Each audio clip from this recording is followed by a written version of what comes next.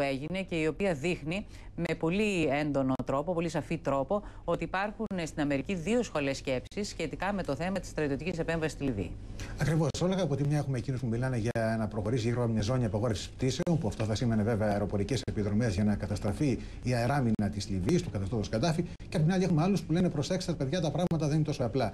Η δήλωση αυτή που αναδεικνύεται από ρεπορτάζ των Financial Times σήμερα έχει ως εξής. Έχει γίνει από τον Υπουργό Άμυνας, τον Robert Gates, έγινε την περασμένη Παρασκευή, ε, μιλώντας ο κύριος Gates στο West Point, τη φημισμένη στρατηγική ακαδημία των ΗΠΑ, και είπε ο κύριος Gates τα εξής. Όποιος Υπουργός Αμήνης συμβουλεύσεις στο μέλλον τον Πρόεδρο να στείλει χερσαία δύναμη στην Ασία, τη Μέση Ανατολή ή την Αφρική, θα πρέπει να πάει να τον κοιτάξει ένας γιατρός. Αναφέρατε βέβαια στα ίδια ανοιχτά μέτωπα που έχουν η Αμερική και αν μπορεί να σηκώσει ακόμη ένα, Όλγα.